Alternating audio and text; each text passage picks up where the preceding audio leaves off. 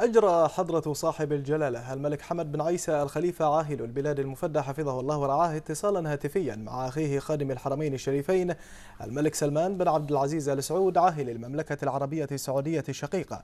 وتم خلاله استعراض العلاقات الأخوية التاريخية الوثيقة والمتميزة التي تربط بين البلدين والشعبين الشقيقين ومستجدات الأوضاع في المنطقة. كما أشاد جلالة الملك المفدى بتشكيل تحالف إسلامي عسكري تتصدره المملكة العربية السعودية السعودية لمحاربة الإرهاب وتأسيس مركز عمليات مشتركة للتنسيق ودعم العمليات العسكرية بمشاركة عدة دول.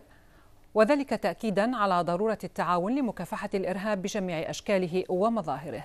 مشيرا جلالة الملك المفدى إلى أن مملكة البحرين من الدول الأوائل في المشاركة في هذا التحالف انطلاقا من قناعتها وإيمانها بأن التعاون هو السبب الوحيد لمكافحة الإرهاب والدفاع عن القضايا العالقة. وأكد جلالة الملك المفدى خلال الاتصال على الدور الرائد للمملكة العربية السعودية بقيادة خادم الحرمين الشريفين في الدفاع عن القضايا الإقليمية والدولية ومكافحة الإرهاب.